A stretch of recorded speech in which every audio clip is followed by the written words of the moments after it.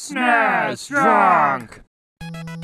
I've talked about pick up and play games, meaning games that have a simple display with simple controls that just about anyone can get the hang of, and I've talked about pick up and die games, meaning really difficult games where you pretty much just have to die many, many times to get any progress in the game. Then there's games that developer Rare makes for the NES, some of which fall into a different category, being pick up and what the hell even is this? Marble Madness falls into this category, and Solar Jetman as well. Both of those games have very particular controls that are tough to even approach, let alone get used to, but both of those are still good games. Rare also developed Captain Skyhawk, and it also falls into that pickup and what even is this category as well, but I'm not totally sure it's a good game. On the surface, it looks awesome, as most Rare NES games do, but it is tough to get into, and this time not just because of the controls and the unconventional display, but also the difficulty. You play as a fighter jet, getting 5 lives and 3 continues to get through 9 levels with no saves or passwords, with some levels featuring unique objectives like dropping off supplies in these holes here, picking up passengers, or docking with your space station once your mission is complete.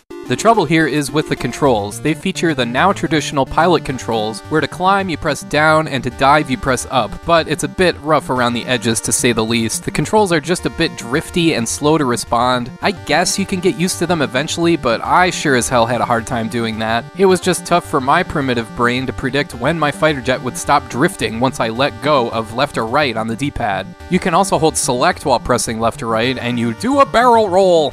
Sorry, just fulfilling my obligations. Another major issue here is with the very first level. It's kind of a Zaxxon style, only you're flying straight ahead, but you're still skimming the ground and shooting stuff as you go. The problem is that there's so much debris when you blow something up, it can be tough to determine between what are the smoldering remains of your enemies and what's an enemy projectile coming at you. I swear I died like 20 times on this first level alone. It doesn't help that in many cases you get so caught up in dodging projectiles that you end up crashing into the terrain. It took a long while, but I finally got the rhythm down and I was able to better recognize enemy projectiles while not crashing into stuff. But yeah, some of you out there may not have that kind of patience.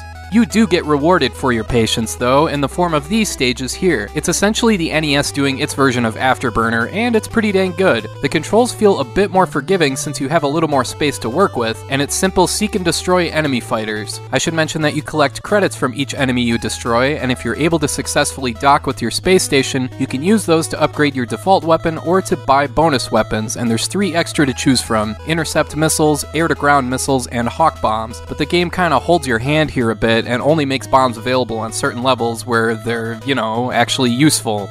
There is a story here, but it's nothing you can't guess or even make up yourself. Aliens have invaded Earth and have built four bases across the planet designed to drain Earth's energy somehow, in order to feed their own space station thing, I guess. You, as Captain Skyhawk, have been chosen to fly a fighter jet designed by scientists? So saith the instruction manual. Uh, shouldn't engineers be designing those instead of scientists? Anyway, you fly the F 14 VTS to make stuff go boom until there's no more stuff to go boom.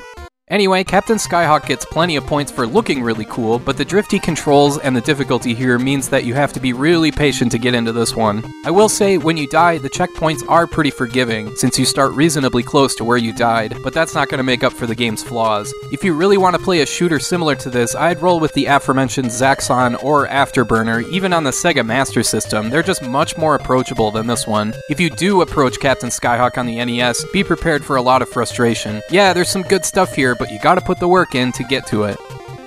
Alright, I want to thank you for watching, and I hope you have a great rest of your day.